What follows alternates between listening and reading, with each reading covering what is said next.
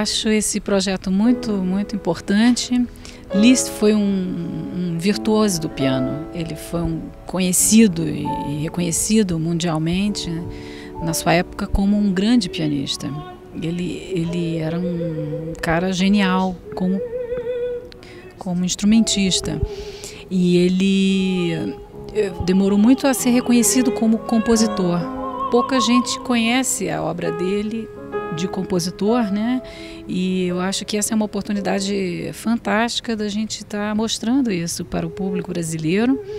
Naturalmente, aqui essa, esse conceito de recital é uma, coisa que a gente gostaria de fazer mais, né? O recital de canções de canto e piano.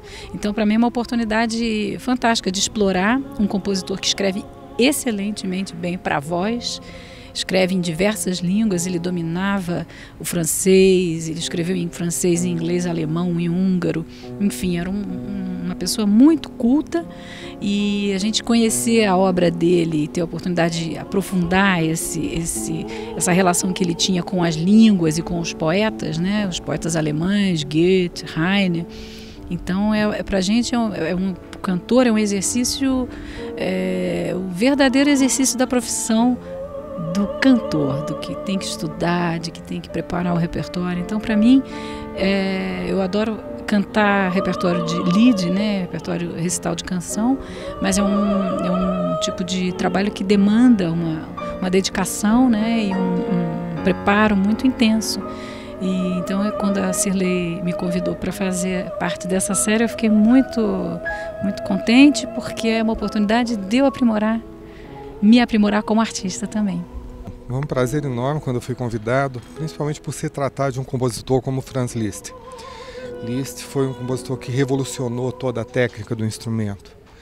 E eu fiquei muito curioso porque eu particularmente não conhecia muitas das canções, né? com exceção de umas duas que são realmente muito famosas, mas por exemplo as canções é, em alemão, né, é, em italiano, eu nem sabia da existência.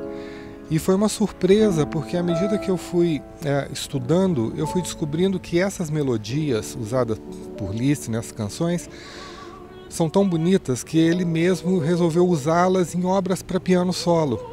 Né? Então, muitas das canções, na verdade, são temas de obras importantes, né? como os, as peças do Ano de Peregrinação, e né, que tem os sonetos de Petrarca. Inclusive, a gente termina a apresentação com um deles né, feito uh, transcrito para canto. Então foi uma, uma, alegria muito grande e principalmente o de estar trabalhando ao lado de uma cantora como a Rosana, que eu sempre tive uma admiração enorme, nunca tive o privilégio né, de tocar, de fazer nada com ela, mas agora podendo trabalhar com a Rosana realmente é um prazer enorme, subir no palco com uma pessoa que tem essa preocupação em fazer música, né, em primeiro lugar.